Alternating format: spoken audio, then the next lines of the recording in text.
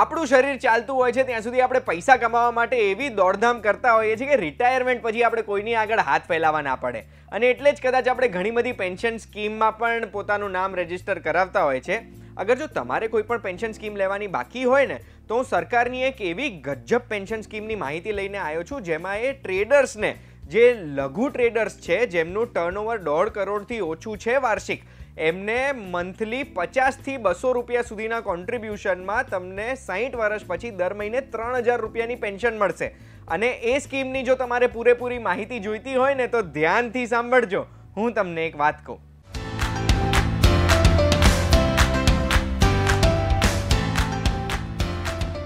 એક વાત કહું, માં આપનું સ્વાગત છે. મારું નામ છે ગુંજ ઠક્કર અને જે પેન્શન સ્કીમની આપણે વાત કરી રહ્યા છીએ આપણા દેશમાં લોન્ચ થઈ હતી બાવીસ જુલાઈ બે હજાર ને ઓગણીસના દિવસે. આ સ્કીમ લોન્ચ કરી હતી મિનિસ્ટ્રી ઓફ લેબર એન્ડ એમ્પ્લોયમેન્ટે અને આ સ્કીમનું નામ છે પ્રધાનમંત્રી લઘુ વ્યાપારી માન ધન યોજના. આ એક પેન્શન સ્કીમ છે જેમાં તમને સાહીઠ વર્ષ પછી દર મહિને ત્રણ હજાર રૂપિયાની પેન્શન ફિક્સ મળશે.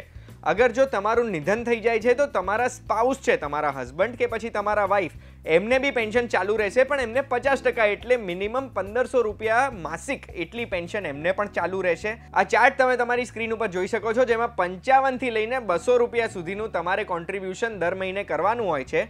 હવે આ સ્કીમમાં કેવું હોય છે? અઢારથી ચાલીસ વર્ષ સુધી તમે આ સ્કીમમાં જોઈન થઈ શકો છો. એટલે તમે કઈ ઉંમરે આ સ્કીમમાં જોઈન થયા છો?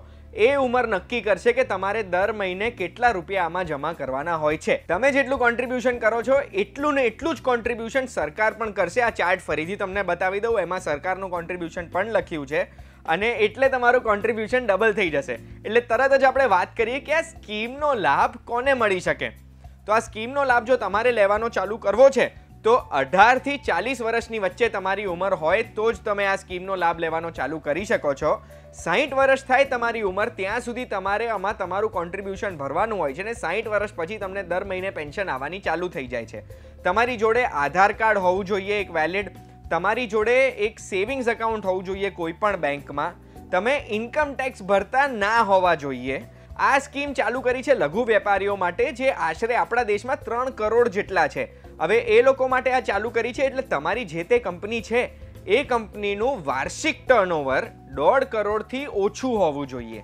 તમે કોઈ પણ ઈપીએફઓ સ્કીમનો લાભ લીધેલો ના હોવો જોઈએ, એટલે એમ્પ્લોય પ્રોવિડન્ટ ફંડનો તમે ઈએસઆઈસીમાં મેમ્બર ના હોવા જોઈએ, તમે નેશનલ પેન્શન સ્કીમમાં મેમ્બર ના હોવા જોઈએ કે પછી તમે પ્રધાનમંત્રીની શ્રમયોગી માનધન યોજનાનો પણ લાભ ના લીધેલો હોવો જોઈએ આના માટે. હવે આમાંથી જો બધે બધા પોઈન્ટ તમને લાગુ પડે છે, તો તમે આ સ્કીમનો લાભ કેવી રીતે લેવાનો ચાલુ કરી શકો છો, એની વાત હું તમને આગળ કહીશ. એની પહેલાં બે ત્રણ ડાઉટ સોલ્વ કરી દઈએ. પહેલો ડાઉટ એ છે કે જો માની લો આ સ્કીમનો લાભ તમે લેવાનો ચાલુ કર્યો, દર મહિને તમે કોન્ટ્રીબ્યુશન કરવાનું પણ ચાલુ કર્યું. એ પૈસા તમે જે ભરો છો, પણ થોડા મહિના તમે પૈસા ના ભરી શક્યા તો શું થાય? તો શું આ સ્કીમ કેન્સલ થઈ જાય? ના. તમારે જેટલા પૈસા ભરવાના બાકી છે, એ પૈસા તમે એકસાથે અગર ભરી દો છો અને એના ઉપર જે વ્યાજ સરકારે નક્કી કર્યું છે, એ વ્યાજ તમે ભરી દો છો ઇન્ટરેસ્ટ તો તમારી આ સ્કીમ પાછી ચાલુ થઈ જશે ને સાઠ વર્ષ પછી તમને પેન્શન મળતી ચાલુ થઈ જશે. હવે માની લો આ સ્કીમમાંથી તમે એક વખત રજિસ્ટ્રેશન કરાયું, પણ તમારે એક્ઝિટ કરવું છે, નીકળવું છે, તો એના કયા કયા કાયદા છે? તો એના માટે સૌથી પહેલાં જો તમે દસ વર્ષથી ઓછો સમય કોન્ટ્રીબ્યુશન કર્યું છે, તો તમે જેટલા પૈસા ભર્યા છે, એ બધા પૈસા તમે પાછા માંગી શકો છો ને તમને પાછા મળી જશે. ફક્ત એટલું જ નહીં, એ પૈસાની સાથે સાથે તમને એ પૈસા ઉપર સેવિંગ્સ ખાતામાં જેટલું વ્યાજ મળતું હોય ને, એ વ્યાજ પણ તમને મળી જશે. હવે માની લો તમે દસ વર્ષ કે તેથી વધુ કોન્ટ્રીબ્યુશન કર્યા છે, અને તો પણ તમારે એક્ઝિટ થવું છે, તમારે આ પૈસા પાછા બહાર કાઢવા છે, તો તમે શું કરી શકો? તો દસ વર્ષથી વધુ આપણે જો પૈસા ભર્યા હોય ને, તો આપણે જેટલા પૈસા ભર્યા છે એટલા આપણને મળે. અને પેન્શન ફંડ એટલે આપણા પૈસા વત્તા સરકારના પૈસા, એ બંને ભેગા થઈને એના ઉપર જેટલું વ્યાજ ભેગું થયું હતું, એ બધું વ્યાજ બી આપણને મળી જાય. સરકારનું કોન્ટ્રીબ્યુશન આપણને ના મળે, સરકારનું કોન્ટ્રીબ્યુશન પાછું પેન્શન ફંડમાં જતું રહે. હવે જો જે વ્યક્તિ પૈસા કોન્ટ્રીબ્યુટ કરી રહ્યા છે, એમની મૃત્યુ સાહીઠ વર્ષની પહેલાં થઈ જાય, એમની ઉંમર સાહીઠ વર્ષની પહોંચે એ પહેલાં, તો શું કરવાનું? તો એમના હસબન્ડ કે વાઈફ એટલે એમના જે તે સ્પાઉસ છે, એમણે કન્ટિન્યુ રાખવું હોય તો એ આ યોજના કન્ટિન્યુ રાખી શકે છે, એ પૈસા ભરવાનું કોન્ટ્રીબ્યુશન કરવાનું. કે પછી એમણે અગર નીકળી જવું હોય, તો મેં જે દસ વર્ષ પહેલાં કે દસ વર્ષ પછીનું કીધું, એ પ્રમાણે જેટલા વર્ષનું કોન્ટ્રીબ્યુશન થયું છે, એ પ્રમાણે કોન્ટ્રીબ્યુશનના પૈસા પ્લસ વ્યાજ, એ બંને લઈને નીકળી પણ શકે છે. હવે જો આપણે આ યોજના હેઠળ આપણું નામ રજીસ્ટ્રેશન કરાવવું છે તો એ કરાવવાના રસ્તા કયા છે એના વિશે વાત કરીશું. બે રસ્તા છે. ડિજિટલ ઇન્ડિયાનો જમાનો છે ને હું તમારો ડિજિટલ મિત્ર છું.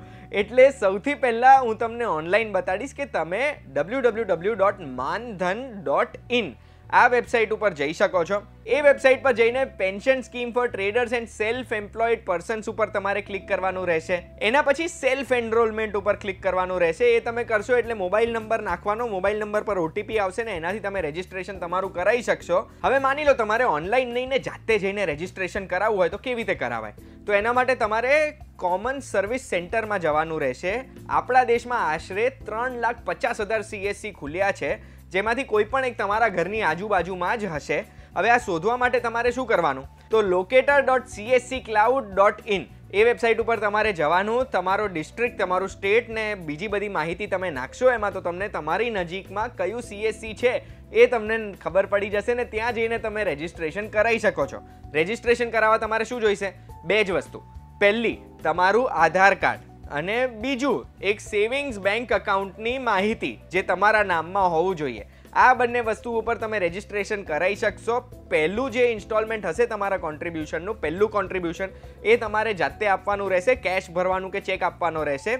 બીજી વખતથી તમારા ખાતામાંથી ઓટો ડેબિટ ફીચરથી આ પૈસા કપાવવાના ચાલુ થઈ જશે. તમારે જો બીજો કોઈ પણ સવાલ હોય તો તમે મને કમેન્ટ્સમાં પૂછી શકો છો.